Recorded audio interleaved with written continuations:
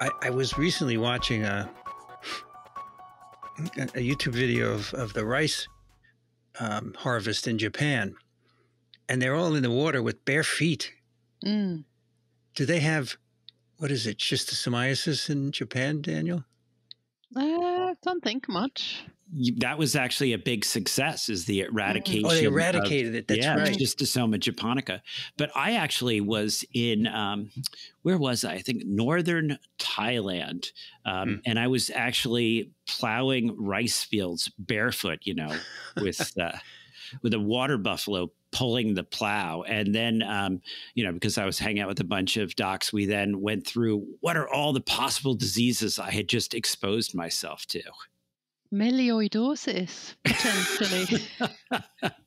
First one that jumps in my mind. Yeah, but you really, I, I, you really need to be barefoot because if you tried to wear like a pair of boots, they just would get kind of sucked off because you know you're down there in the mud and yeah.